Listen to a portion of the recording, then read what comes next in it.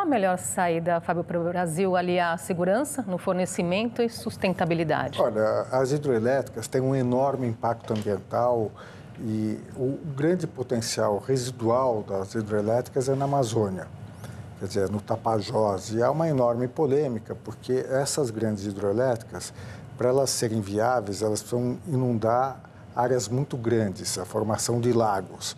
Se tentou uma outra opção, que é Belo Monte, que a gente chama hidroelétrica fio d'água. Só que o impacto no meio ambiente é terrível, a perda da biodiversidade, enfim. Quer dizer, eu acho que dá para você melhorar o desempenho das hidroelétricas que existem, você tem como fazer isso e, ao mesmo tempo, eu acho que a energia solar e eólica estão ganhando muita eficiência.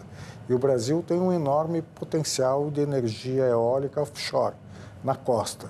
Então, eu, eu acho que uh, essa discussão tem que ser feita com muito equilíbrio, com muito bom senso, porque, do ponto de vista ambiental, Quer dizer, a hidroelétrica é, no mínimo, controvertida. Quer dizer, do ponto de vista de emissão de gás de efeito estufa, obviamente ela é melhor.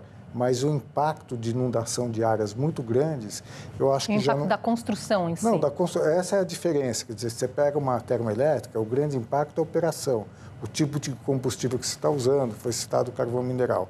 O grande problema da hidroelétrica é que ela, na verdade, para ela ser viável, ela significa inundação gigantesca. E mais do que isso, hoje nós temos as hidroelétricas estão sofrendo o problema do aquecimento global, que é a mudança no regime de chuvas, e portanto você tem o risco de diminuir os reservatórios por menos chuva. Então é complexo, a gente precisa tomar muito cuidado com afirmações dizendo, eu acho que tem que ter equilíbrio nessa discussão. Mas um comentário final, não acho que o Brasil poderá fazer o que já fez que é grandes é, hidroelétricas com inundações gigantescas. Quer dizer, eu acho que esse período acabou porque eu acho que a sociedade não aceita mais esse tipo de alternativa que há 30, 40, 50 anos atrás não havia essa consciência do impacto, reassentamento de pessoas. Então, mudou o contexto e eu acho que o Brasil tem que é, caminhar na direção de uma matriz energética equilibrada e uma coisa que o Brasil, na minha opinião, poderia fazer muito mais que a eficiência energética. Quer dizer, consumir energia de uma maneira mais inteligente. É, acho que o Fábio colocou aí os pontos centrais, né? E, e de fato há uma, um questionamento sobre a eficiência de fazer novas hidrelétricas.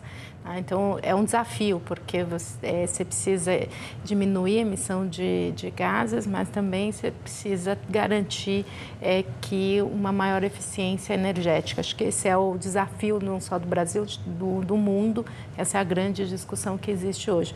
Ah, e o governo brasileiro vai ter que fazer algumas opções principalmente também investir em pesquisas, né? países que estão muito avançados em outras é, pesquisas para buscar outras fontes de energia, como o Japão, como a própria é, Oriente Médio. Então, acho que o Brasil também tem outras opções que pode ser explorada.